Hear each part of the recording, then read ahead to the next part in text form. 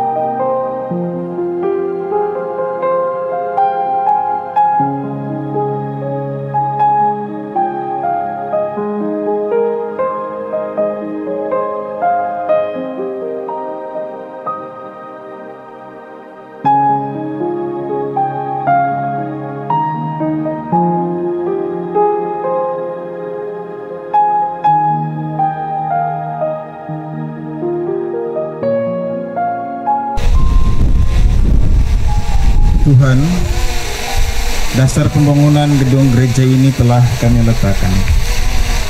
Terima kasih untuk berkat Biarlah jemaat ini dipergunakan sebagai batu-batu yang hidup dan tiang penopang untuk pembangunan gereja ini demi kemuliaan namamu di muka bumi. Amin.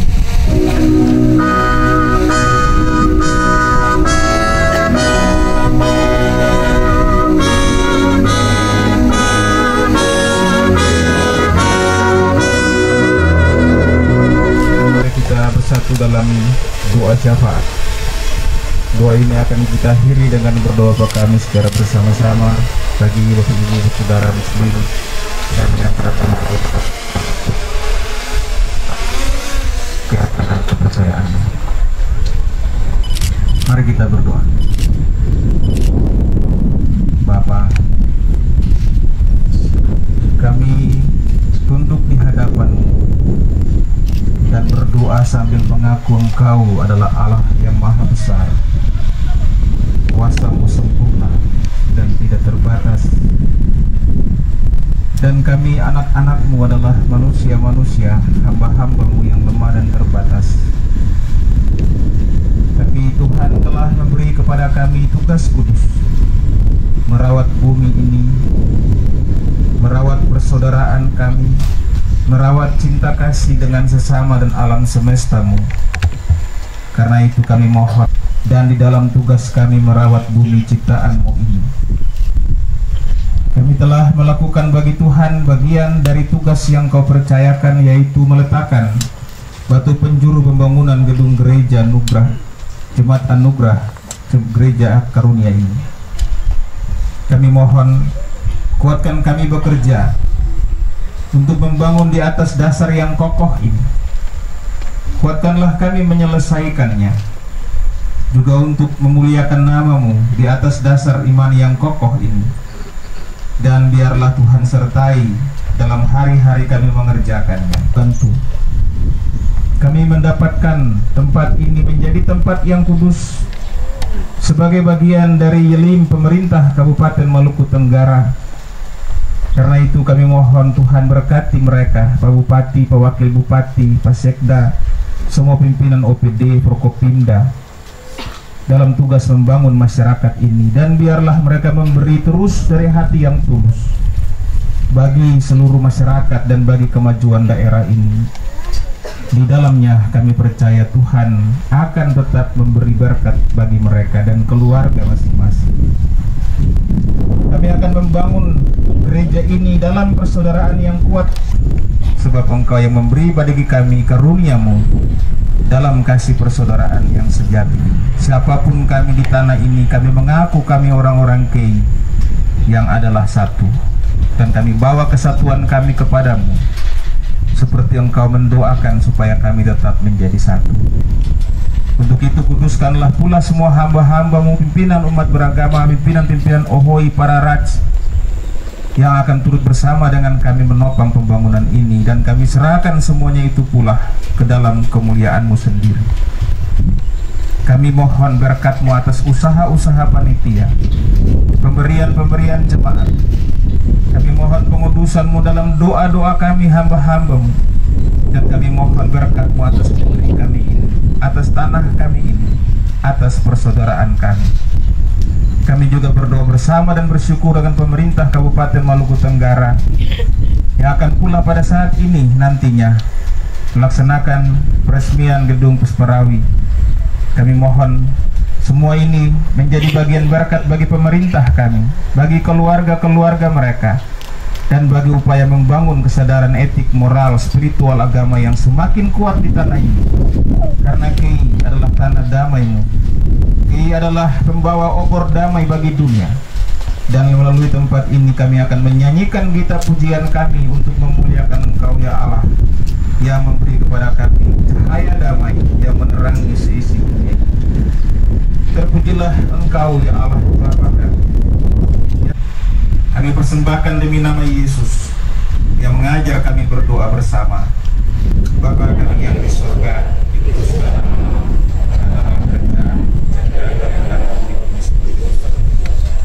kami pada hari ini makan kami secukupnya, ampunilah kami akan kesalahan. Seperti kami juga mengampuni orang bersalah kepada kami. Jangan kita dalam pencobaan, lepaskan dari daripada yang karena Kau yang punya kerajaan dan kuasa dan sampai Saudara-saudara saya undang berdiri kita kidungkan nyanyian jemaat GPM 300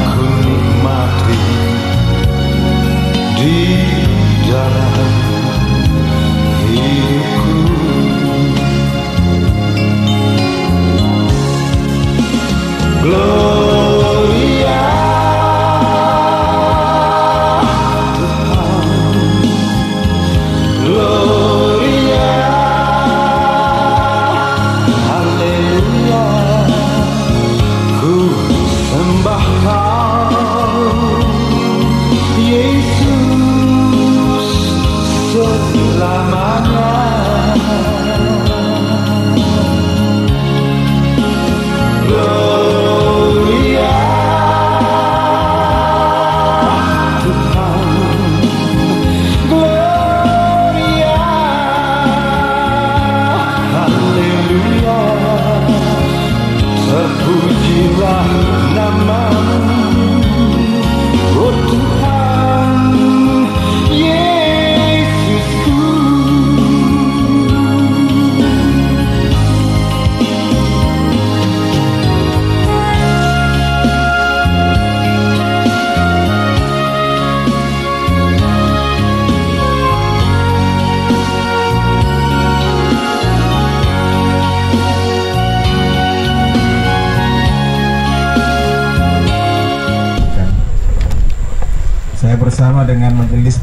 Klasis GPM Pulau-Pulau Kecil dan Kota Kuat. Pujian kepada Allah DPM Anugerah Klasis Pulau-Pulau Kecil Kota Tual dan hadirin yang saya kasihi dalam Tuhan. Saya hendak meresapi indahnya kehidupan keagamaan orang K yang dibangun di atas falsafah budaya masyarakat K itu sendiri. Saya tidak tahu bahwa secepat sampai di sini arahan saya harus saya tulis. Karena saya sudah tulis jadi saya baca saja. Namun perkenankan saya menjadikan Bunda Maria mohon izin juga dari Pak Wakil Uskup sebagai pusat dari refleksi itu untuk menunjukkan bahwa ada rahim paling suci dan hati paling tulus yang bersedia tanpa diminta untuk melahirkan kebaikan utama yang mewujud dalam seorang manusia yang sempurna, manusia yang real, yang nyata, manusia yang bersejarah. Rahim suci Bunda Maria adalah rahim yang dikaruniai. Rahim itu dibuahi oleh cinta yang tak bertepi, tidak berakhir, tidak terbatas. Kasih itu adalah kasih Allah. Kasih yang menjadi manusia karena hanya itu cara yang benar untuk memahami siapa manusia itu dan mengangkat manusia dari dosa sebagai titik terendah hidupnya kembali kepada citranya sebagai ciptaan yang baik sesuai pandangan Allah. Bagi saya itulah karunia. Sang Bunda Maria adalah pemilik hati yang teramat tulus, hati yang putih dan kudus, hati seorang perempuan suci.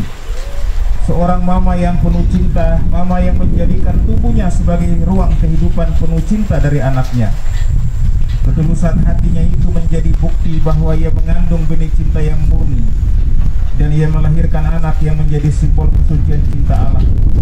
Anak itu adalah kasih karunia Allah yang besar kepada semua ciptaannya. Anak itulah yang kita kenal sebagai Yesus atau Nabi Isa. Ia adalah dalam seluruh karya dan ajarannya membentangkan kepada kita permadani anugerah yang mengantar kita kepada kesatuan sempurna seorang dengan lainnya dan kesatuan kita dengan Allah. Ia dalam seluruh karya dan ajarannya memberi karunia kepada kita agar dengan karunia yang berlain-lainan itu kita membangun kesatuan yang tidak bisa dengan mudah diputuskan, diceraikan, dilepaskan, dan dihancurkan. Ia dalam seluruh karya dan ajarannya memberanikan kita untuk hidup berdampingan sebagai saudara yang menghuni bumi yang satu, tanah yang sama, negeri yang berlimpah kasih karunia. Pujian Bunda Maria dalam Injil Lukas pasal 1 ayat 47 dan 48. Jiwaku memuliakan Tuhan dan hatiku bergembira karena Allah juru selamatku. Sebab ia telah memperhatikan kerendahan hambanya untuk mengatakan bahwa ada seorang yang mendapat karunia teramat mulia tapi rela merendahkan diri secara total. Ada seorang perempuan, seorang ibu yang mendapat penghormatan dari Allah namun sangat rendah hati. Ia adalah lukisan paling sempurna dari mereka yang dikaruniai. Sebab setiap orang yang beroleh karunia hanya harus menyerahkan seluruh hidupnya bagi sang pemberi karunia itu dan bagi pelayanan sesuai tujuan dari karunia itu sehingga ia menjadi berkat bagi semua. Setidaknya kalau refleksi protestan tentang Bunda Maria. Saudara-saudara, Bunda Maria adalah representasi dari rahim suci dari mana kita semua berasal. Jika orang kei mengaku bahwa ikatan darah adalah ikatan abadi, maka jelaslah bahwa darah itu adalah darah perempuan kudus, darah seorang mama yang mengandung dan melahirkan kita semua. Kei adalah rahim yang melahirkan semua anaknya.